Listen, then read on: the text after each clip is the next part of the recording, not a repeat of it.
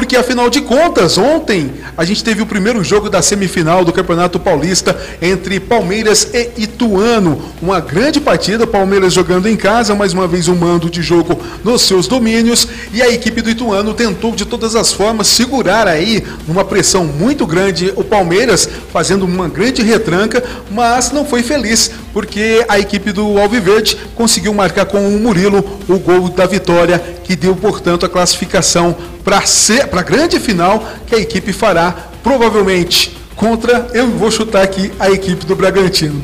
Água Santa e Bragantino jogam daqui a pouco, viu? Mas eu chuto que o Bragantino possa ser o grande finalista, se bem que o Água Santa está jogando um bolão também, né, Samuel? É, eu tenho minhas dúvidas, né? Mas eu também vou torcer para o Bragantino. Mas eu não duvido que o Água Santa também barre aí a equipe do Bragantino, não. Justamente. Os comentaristas esportivos ao redor do país apontam que se o Bragantino for a final pode complicar a vida do Palmeiras, viu? É um clube que está bem estruturado com o seu futebol em dia para fazer frente para a atual equipe do Palmeiras. Tem alguns desfalques, mudou em relação um pouco ao ano passado, né, Samuel? E tem tido algumas dificuldades, inclusive o jogo de ontem, o jogo contra o São Bernardo, por exemplo, na quarta de final, o Palmeiras sofreu bastante. Vamos ver como vai ser se o Bragantino passa, se o Água Santa passa e como é que vai ser essa final. A final em dois jogos, viu, Samuel? Jogo de ida e jogo de volta. Pois é, e a equipe do Bragantino vem sendo coroada pelo trabalho de planejamento e investimento feito nos últimos anos, né?